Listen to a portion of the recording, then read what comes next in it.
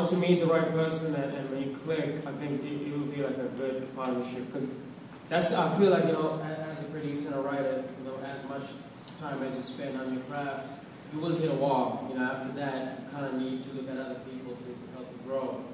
And that's what I'm able to do. Uh, I have an amazing team around me that one of them is like Linda Perry's right hand person to this, that, and I think that'll help you, you know, grow and also that'll help you sell the songs too, depends on who you partner up with.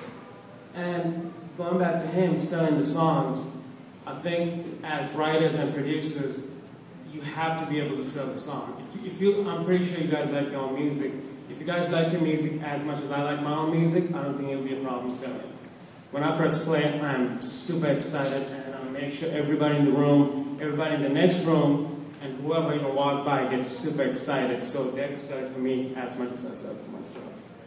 So uh, when, when I'm looking for collaborating people, I look for that too. I look for that energy.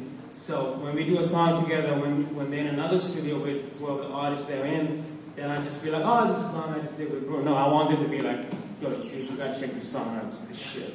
I want them to be super excited about it. I think that's what I look for, for when I collaborate with somebody.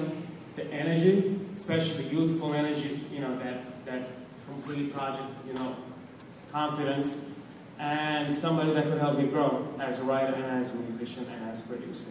So I think what you hear there is, you know,